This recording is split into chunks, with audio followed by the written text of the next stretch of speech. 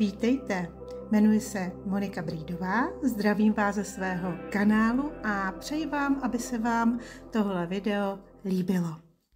Dobré ráno, je pátek, Martin odjel do práce, já jedu do nemocnice. Zase pátek v nemocnici, ale doufám, že všechno bude v pořádku a odpoledne dorazí Eva a budeme mít takový zase holčičí víkend. Já mám ráda, když se mi ty energie střídají. tak takový krásný den. Já už mám po odběrech. Jdu si tady na chvilku sednout pod stromy. Ukážu vám zase parčík, taková už moje tradice. Půjdu si pak chvilku pracovat do kavárny a za dvě hodinky ještě kontrola, tak snad to všechno bude fajn. Jako ty, ty javory, to je tady fakt úžasný, takového stínu krásného. A i ty kytky, jak tady se ti rozrostly, denivky a tak. Tak já vám to jdu tady ukázat. To trošku džungla, ale mě se ta džungle líbí. A zarámovaná těma javorama. Krása. Ještě do kolečka celý, abyste to viděli a mohli se pokochat, jak to tady máme v nemocnici vlastně hezký. Nikdo tady není, je vel, velký vedro na to, asi by se sedělo venku. A tam ještě krásně kvete i byšek, tak ten vám ještě ukážu. Ten je fakt krásný, si říkám, jestli by zakořenil, kdyby se tady člověk ulomil větvičku, možná až půjdu domů, tak to risknu. A když jsem přijela sem ráno, byl úplně narvaný parkoviště, tak odcházím, parkoviště je poloprázdný, ale jediný dobrý je, je zase všechno dobrý. Uf, bylo to dneska fakt dlouhý, ale ty výsledky za to vždycky stojí. Pak všechno, všem všechno odpouštím. Tak dělám si takový rychlej pozdní obídek, spíš svačinu. Po dlouhé době zase můj milovaný pařížský salát. Udělala jsem si rajčátkový salát a jedna kajzerka k tomu. Tak dorazila Eva a my jdeme po instalacích umění ve městě a na rohu náměstí našeho velikého krásného máte první instalaci tady tu bránu. A jinak takhle vypadá Budějický náměstí eh, v, co je dneska, pátek v půl sedmý večer. Nikde, nikdo. Eva říkala, kde jsou lidi. Tak Eva hned našla krásné leženíčko, takže jsme ho na chvíli využili a v této zahradě jsme našli tuhle tu krásnou uh, instalaci, je to asi 3D tisk, mám pocit, zapomněla jsem autora, stejně jako u tady té uh, další. Já vám je sem napíšu do popisku, protože vám někde seznam. A na piaristickém náměstí je ještě jedna, ty jsou tyhle ty tři jsou hodně vedle sebe. Další instalace byla ve vodě opět na slepým rameni, tak jako každý rok a my jsme šli procházkou eh, kolem vody a pak už jsme si jenom užívali takový toho nočního života, ale to už jsem vám nenatáčela. Prostě, když si čtyři holky výjdou. Dobré ráno, dobré ráno na balkoně, rodí se krásný den a po dlouhé době zase moje úplně nejobliklejší snídaně, lněný semínko, banán, voda, rozmixováno, mysli a ovoce. Sobota a trhy pod Bílou věží, tak jdem to omrknout. Nic nepotřebuju, ale znáte to.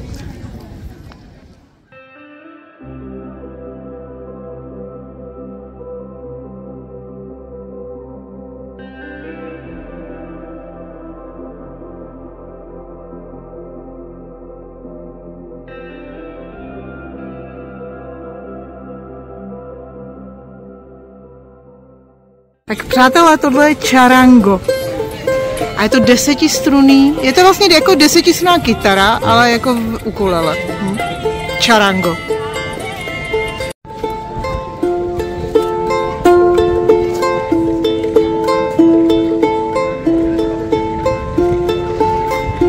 Tak to je výzva pro Toma. Tome, gitarele ne. Co kdybys to rozšířil? A je na prodej.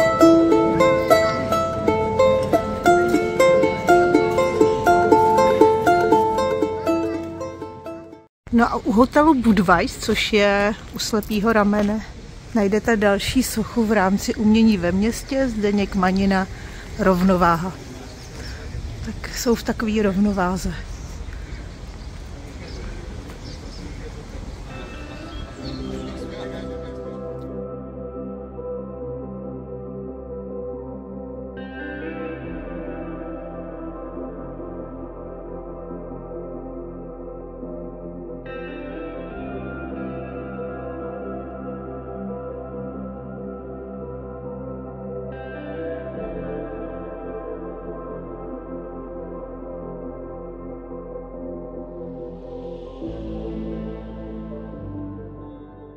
Tak součástí výstavy jsou i tyhle ty galerie tváří. Vydrž? Galerie tváří. Teď nám tady paní říkala, že minulý týden tady návštěvníci otiskovali hlavy do hlíny, pak se z toho udělali tyhle sádrové odlitky. A docela mě překvapuje, jak je to detailní.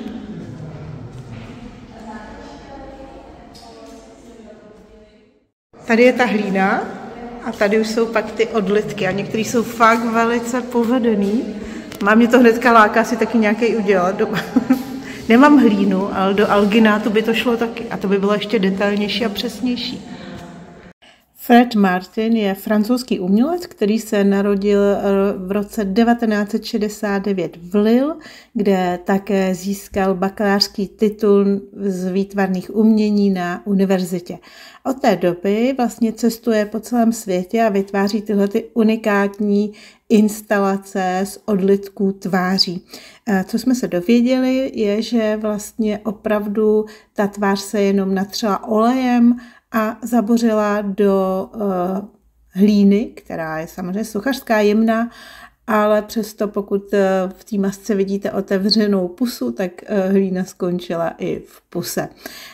Tyhle ty otisky, na to se museli lidi přihlašovat a po ukončení instalace si budou ten svůj otisk moci odnést. A od stejného autora je vlastně i ta expozice v tom vchodu. A tady jsou nějaké jako návrhy, který připravoval.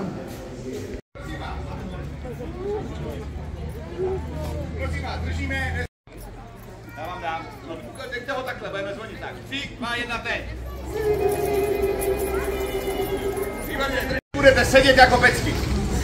Vy totiž, jako diváci, můžete ovlivnit, co se dnes zde, tomto divadle, zde, v tomto divadle, odehraje. Vy totiž teď budete hlasovat o tom, co já při představení budu mít pod krkem. A věřte mi, že to velice, ale velice ovlivní celé představení. Takže pozor. Já dnešní představení mohu odehrát pod krkem touto nádhernou kravatou. A nebo dnešní představení mohu odehrát pod krkem s tímto nádherným motejlem. A nebo dnešní představení paní Ubí mohu odehrát pod krkem s tímto odporným pavoukem sníky. Klid prosím, klid! Ještě stále žijeme v demokratické společnosti, který uspořádáme volby. Každý má jeden hlas, takže kdo je proto, aby dnešní představení odehrál pod krkem s touto nádhernou kravatou? Prosím, ucho nahoru. Teď ucho je tato část těla. Ucho. Ucho pro kravatu. Jedno ucho, druhý ucho.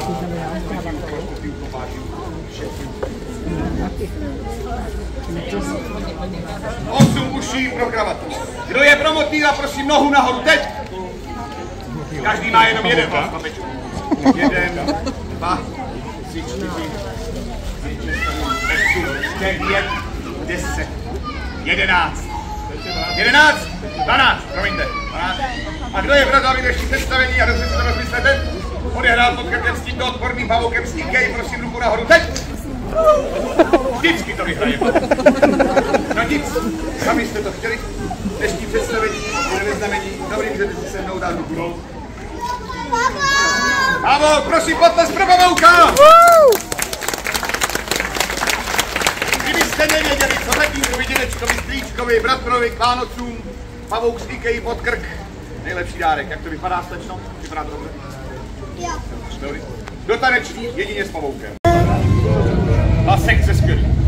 Ale co taky Tak ještě jednou a lépe. Raz, dva, tři a... Bramborové, bramborové, u nás je všechno bramborové.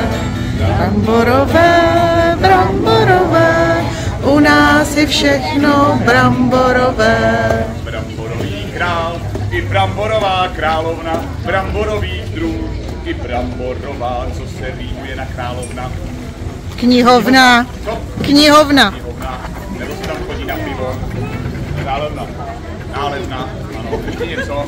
Přádelna. Sádelna? Prádelna. Sádelna, já myslel sádelna. Tak a jedem. A. Bramborová, bramborová, u nás je všechno bramborové, bramborové, bramborové, u nás je všechno bramborové. Bramborový pes i bramborová kočka, bramborový les, i bramborová, co se rýmuje na kočka. Kočka. Cože? Kočka. Kočka, kočka. V létě to smrdí na poli.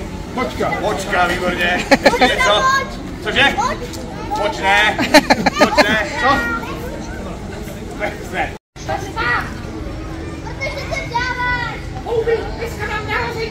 Ano, dcero, ano, ano, ano. Dnes máš narozeniny. Ano, na brambory! Ano, ale potom si chce udělat. No, Bramburky! ano, čipsičky si chce udělat. Tak, prosím vás. Co se děje?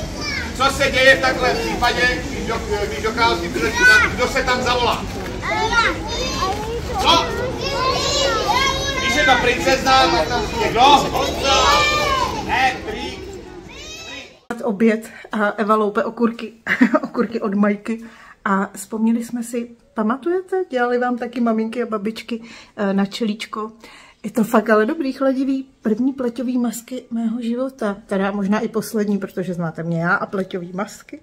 Budu dělat to, co jsem v Opavě už dělala, byla to novinka, takže teď už je to po druhé, už to není novinka.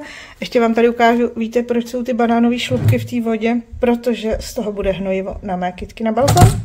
A to vám řeknu někdy později. No a jinak budou to takový ty kapsy, kdy v rýžovém papíře je zabalený uh, tenhle ten řasa, plus tady mám rýži, která zbyla, je zalitá tou zálivkou dobrou a přistrouhám tam nějakou, přikrájím zeleninku, sezam, tofu a udělám takový ty plněný kapsičky. A udělám jich víc, nějaký si osmažíme teď a nějaký k večeři.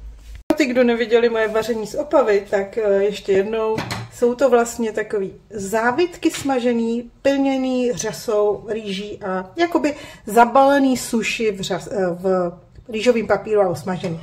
Takže řasu rozstříhnu na čtyři díly, takový čtverečky mi výjdou plus minus. Jako nejsou dokonalý, ale jsou to takový jakoby obdelníčko čtverečky. Tak. Jo, takže do každý přijde jeden takový čtvereček.